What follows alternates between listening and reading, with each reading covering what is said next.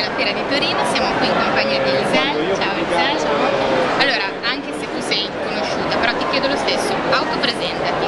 Ma io sono un'autrice abbastanza anomala, nel senso che ho iniziato a muovere i miei primi passi dalla rete, dopodiché da lì sono passata dai racconti web ai racconti cartacei, poi alle prime antologie, ai primi romanzi e diciamo che mi considero un'autrice abbastanza indipendente.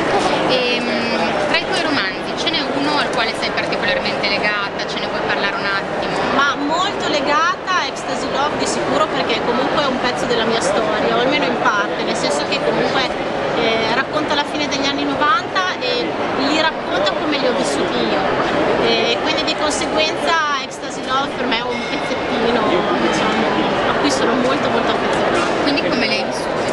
Li ho vissuti diciamo da eh, osservatrice di fenomeni tipo, tra quali discoteca, eh, abusi di sostanze non ben identificate come ecstasy e via dicendo, però eh, sempre sulle confine del divertimento lisergico e del divertimento diciamo pulito. Quindi io ho sempre cercato di eh, mescolarmi alla folla in modo da rimanerne al di fuori.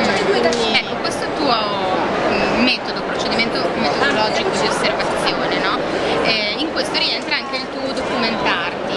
Ecco, ci racconti invece l'ultimo libro che Ah, l'ultimissimo, ultimissimo. Qual è stato diciamo, il momento di documentazione? E in genere sì, ho scritto questo noir eh, proprio di getto, nel senso che è uscito eh, in meno di un mese praticamente, dopo un lungo lavoro di documentazione attraverso lap dance, locali diciamo promiscui, un po' particolari eh, in- nella zona del, tra Bologna e Parma, insomma comunque la mia zona, eh, Emilia Romagna in generale, ecco, diciamo così e eh, ho avuto modo di entrare in contatto con questa realtà che mi ha particolarmente colpito per le persone che la frequentano, che la vivono e, e sì, ho incontrato parecchi personaggi interessanti. sì. Beh, questo comunque in omaggio al metodo scientifico, Assolutamente no? sì. Sei portavoce.